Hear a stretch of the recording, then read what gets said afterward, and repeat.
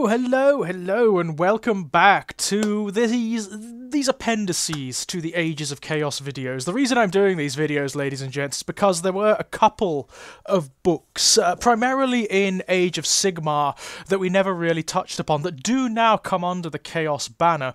Um, and also, there has been a book released since that is well worth our time talking about. Now, for the purposes of this video, I really want to talk about two of the offshoots of Chaos, uh, both of which got probably, arguably, some of the best books that are available in the Age of Sigmar very recently. The best battle tomes. I'm talking about the Beasts of Chaos and the Skaven. Now, both of these are really surprising. They're really surprising in the sense that neither of them have any like a big new miniatures range release so they didn't really need to put a great deal of effort or as much effort as they they do for the the armies that are wholly redone into these books but they have.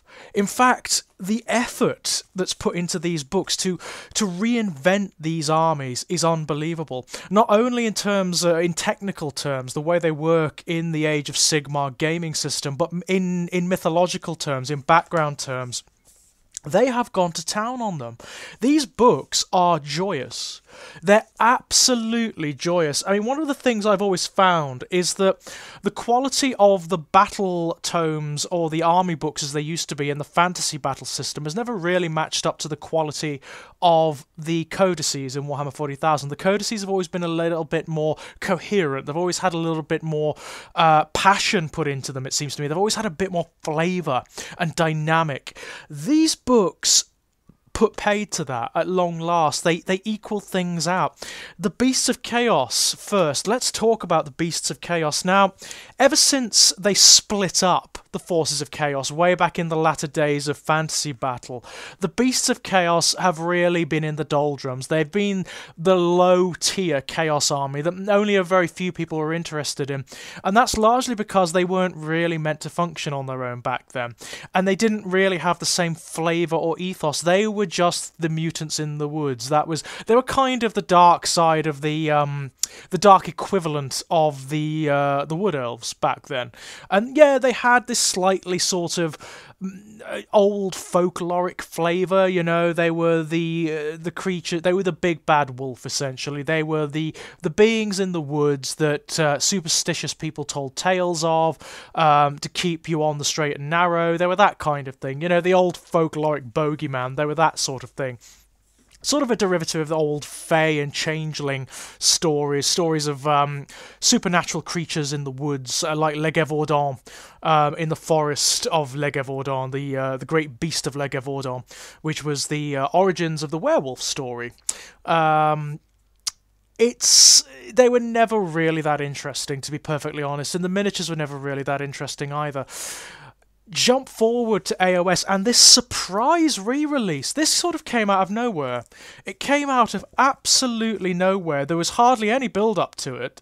Um, nobody knew it was coming. It just dropped. It just dropped with not many in the way of new miniatures. There were really only um, a terrain piece in the form of a herdstone which is gorgeous by the way and a few endless spell miniatures and that's really it. Everything else is from previous editions of the Beasts of Chaos. But what they've done for the first time ever is not only made the Beasts of Chaos a massively viable force in their own right, they are really bloody interesting in the way they work. I love the way they work now.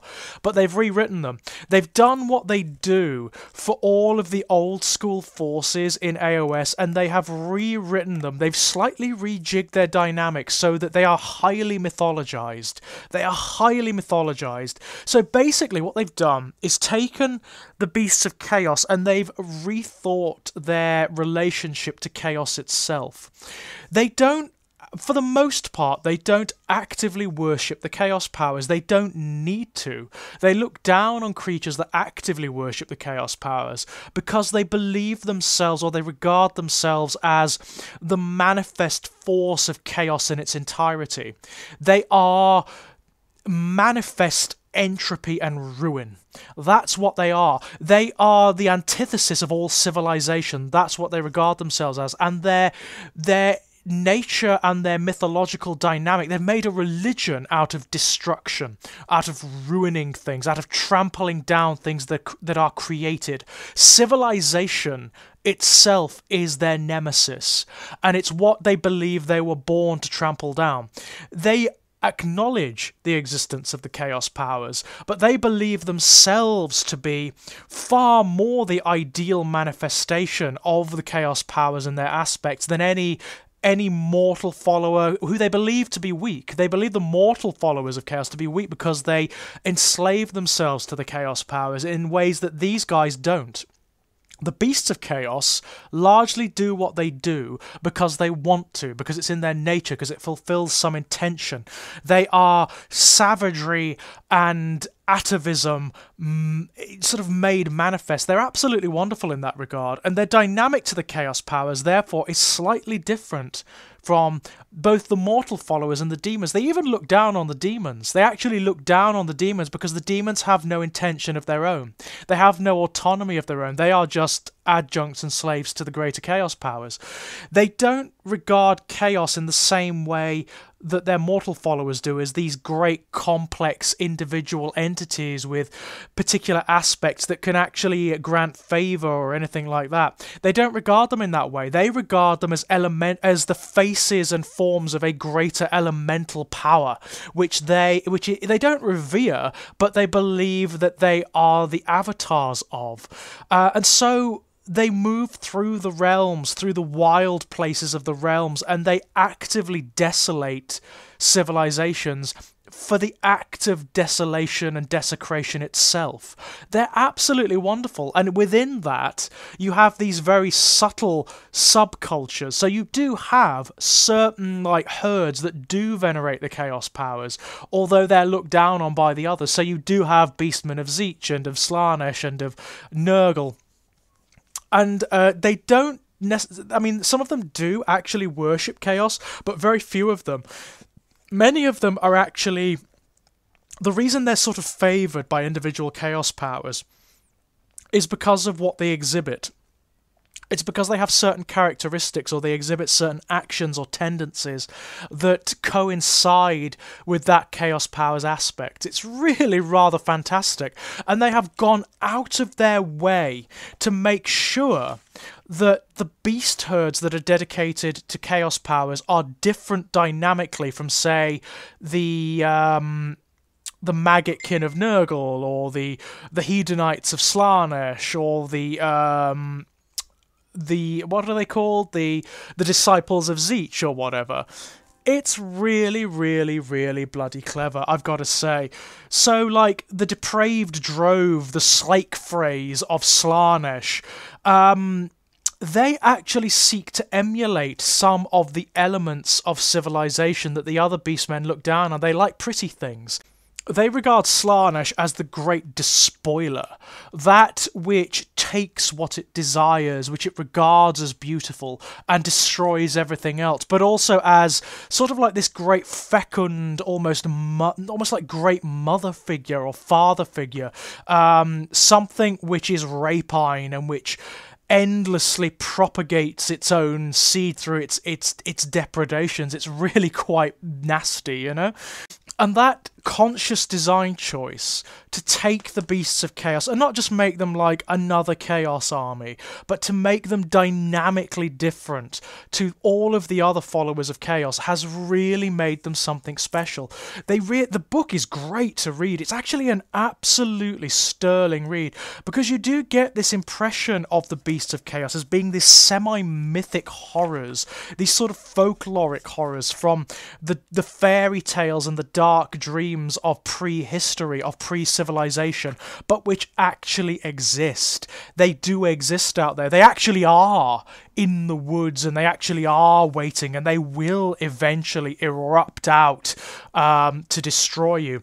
You even have, alongside the uh, the herds that are dedicated to particular chaos powers, you have these greater herds um, which are coalesced around particular dynamics and philosophies. So you have the Dark Walkers, and the Dark Walkers are the most Fey-like of the um, the beasts of chaos. So what they the, what they do is they walk in the shadows and the unseen places. They know about the realm gates. They have this sort of instinctive attachment to the realm gates, and they wander through them and map them, and they use them to come upon their enemies in the dark, in secret places where there's no help. They are absolutely beautiful. You have the Gavespawn, and the Gavespawn are one of my favourites because they are a throwback to an old character in the Beasts of Chaos that's gone gone used to have a model but has gone sort of the way of the dodo called Morghur.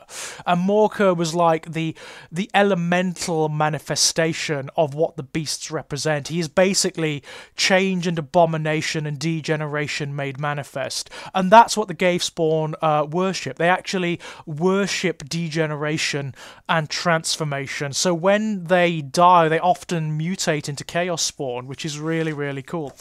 This book is amazing. It's absolutely amazing. For the first time, I really want to collect a Beast of Chaos army. I want to create a Slake Frey to go alongside my Hedonites of Slaanesh because the book is so good. It's so, so good. They've gone for the gusto with it. The feeling and the flavour of it is far more like the original ROC books. And there's so much here. There's so much flavour and feeling. And there's so much that makes them so, so different from what they used to be an amazing book. And if even if you don't collect these guys, buy the book and read it. It's so bloody good. Um, it's one of my favourites. Actually, in recent years, this is one of my favourite Chaos books ever released. It is that good. And I actually do want to. I've even got in my head, I've got, because of this book, I've been sitting trying to percolate like a background and an ethos for my Slake Frey. And I've gone for like a sort of. Um, uh, Whore of Babylon um, Lilith style background where I'm going to create a um, a minotaur that is kind of, that is female. It's kind of like the great mother of a herd and it is endlessly fecund. So my my concept i've stolen a little bit from weaveworld from clive barker. It's going to have some elements of the magdalene from that book. So the the the, the sort of background is that the this creature um endlessly it's endlessly hungry so it devours many of its victims. And those that it doesn't devour it it kind of it's a horrible thought but it kind of uh, rapes i suppose and then creates twisted nightmare children from their seed and that that is the herd that follows her. Um, it's good there's going to be a shaman in it who is kind of like the um, the mid father of this group. He's the one who tends to the births with magics and whatnot. And that's what it's going to be. It's just going to be this entire carnival of abominations, all sort of focused on this one creature which I'm going to uh, convert massively, by the way. But it's you can go to you can do that stuff with this, but you can go to gusto with the horror of these guys, and I love that. I absolutely love it. By the same token, we have uh, Ad- my compatriot Adam's favourite, the Skaven, were released again. Another surprise, another massive surprise because uh, nobody really knew it was going to drop. Nobody really knew it was out there. It just happened. It was really quite weird. And suddenly we have a new Skaven book, and just like the Beasts of Chaos, because now the Skaven are true Chaos followers, by the way, they come under the purview of Chaos. Chaos Battle Tome right across the front, so they deserve a place here too. And uh, of course, the Horned Rat now has risen to the pantheon now that my. Uh, my bay Slaanesh is currently um, well, disengaged from the Pantheon, although that is changing. Check out the next video for that. Um, the Skaven are now a fully fledged Chaos power. And just like the Beasts of Chaos, in many respects, the, the Skaven and the Beasts of Chaos are like sister tomes, because they are very similar. What they've done is exactly what they did with the Beasts of Chaos, and they've taken the Skaven and they've thought, right, how do we make them attuned to the ethos of the mortal realms? How do we heighten them to make them much more mythological? So they're not just rat men in the same way that the beast men are just goat men. Let's make them something more. So they've taken the Skaven and they've rejigged their background slightly. So now the Skaven regard themselves and actually are ele- in the same way that the Beastmen are elemental ruination and desecration, the Skaven are elemental entropy. They are everywhere, and like the Beastmen, they're semi-mythological. Hardly anyone believes they actually exist. They're kind of like nightmares from prehistory. And I'm telling you, the stuff you can do with these books now, because you can anything that has the chaos uh, sign on it, you can put together in the same army in AOS. So you could do like you could do a Skaven, uh, a Skaven swarm, a Beastman herd, a Slaves to Darkness army, and a Hedonites army all together in one army, and that the the opportunities to create the most unique, interesting forces is unbelievable. As a result, Chaos is in the best place it's ever been. I'm telling you, in both game systems. So what they've done, the Skaven are elemental entropy, so they are everywhere. They exist in these sub realms that weave and burrow underneath the mortal realms, and not just through like the material elements of them, but through the metaphysical ma- foundations of the mortal realms. What the Skaven want is everything to collapse into ruin and decay. That's what they want. So there is some overlap between what the Skaven want and what the Beastmen want. So you could easily create like a a Nurgle um a Nurgle herd from the Beastmen and combine them with a um, a clan Pestilence uh, Skaven clan, and that would work really bloody well. It would be brilliant. It would be so interesting, and then you could combine that with a Maggotkin of Nurgle uh, segment and you could create the most brilliant beautiful chaos army imaginable. Honestly it, it, what they've done with these books is just blown the doors wide. You can create such interesting armies. I'm actually looking through the skaven book now and i'm thinking right how can i create something really beautiful to fit with my um my slake fray my slar and my hedonites? I could actually create like a clan moulder detachment that has abominations in it that are sort of like bastardized children of my my Minotaur Whore of Babylon character, you know? You can do stuff like that. This book is amazing. It's the best Skaven book that has ever been. If you don't believe me, ask Adam. Adam is a Skaven fanatic. He is an absolute he adores the Skaven and he, uh, he we've discussed at length that this book is amazing and it is. It's absolutely amazing. The the old skaven clans are back. They're not just one big polyglot force and every single one of them is significantly different from the other in the way it's composed the way it plays but also the way the background works. They've transformed the entirety of the background of the skaven to fit in with aos and they have made them so so interesting. You have things like like the, the concept of Blight City. A Blight City is this immense pocket realm where the Skaven originate from, and they gnaw out through it through these metaphys- metaphysical gnaw holes that actually undermine the foundations of the mortal realms. It's so bloody cool. I love it. I absolutely love it. They have made the Skaven just wonderfully interesting. And the way you can combine them with the other chaos forces to make something really special. Honestly for for people who love to create elaborate background for their armies for the people who love to model their forces so they've got very distinct like uh, symbolism and iconography you you couldn't be in a better place. You honestly couldn't be in a better place. These two books Skaven and Beasts of Chaos honestly if you've never had any interest in these armies before just pick up these books and read them and I guarantee you suddenly you will you absolutely will. So, ladies and gentlemen, when we come back, I'll be uh, doing Appendix B, which features one of my favourite books that's been released recently. I'm sure you all know which one it is. Until then, bye bye.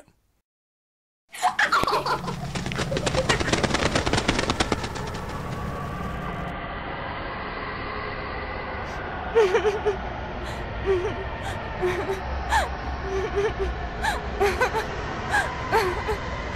ha ha!